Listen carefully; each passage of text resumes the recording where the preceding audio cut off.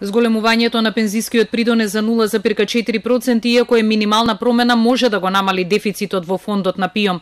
Даночните советници сметаат дека зголемувањето на 18,4% во 2019 и на 18,8% во 2020 година директно ќе влие на приходите, а со тоа и на стабилизација на фондот.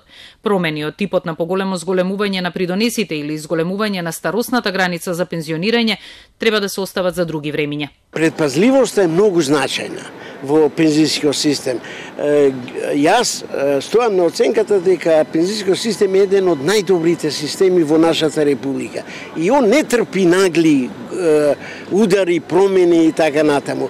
Постепено ќе си дојдат на работите, работите на своје место. И во таа насока, ова, иако благо покачува на преденесот, е добро да се види какви све ефекти ќе даде ова мало покачување на придонесот. Работодавачите се сомневаат во ефектот на новата реформа.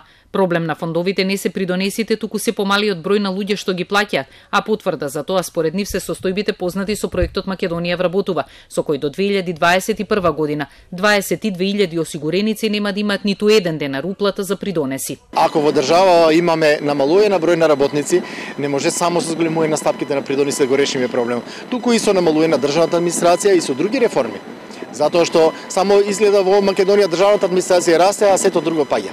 Бројките покажуваат дека со зголемување на придонесот разликата во просечната брута плата ќе изнесува 142 денари, но останува отворено прашањето на чив грб ќе падне, дали на работникот или на работодавачот. Најголемиот број од работодавачите ќе се одлучат да ја зголемат бруто платата затоа што веќе огромен број од нив се содрува со проблем со недостиг на кадар, со недостиг на работници и во такви случаи и кога се работи за многу мало намалување може негативно да влие на мотивираност на работниците или да изгубат одреден број на работници. Зголемувањето на придонесите се очекува да ја намали дупката во пијом за 35 милиони евра. Владата уверува дека пензиите ќе продолжат да растат и законски да се усогласуваат два пати годишно, а повисоки пензии ќе добиваат осигурениците кои ќе се префрлат од вториот во првиот пензиски столб.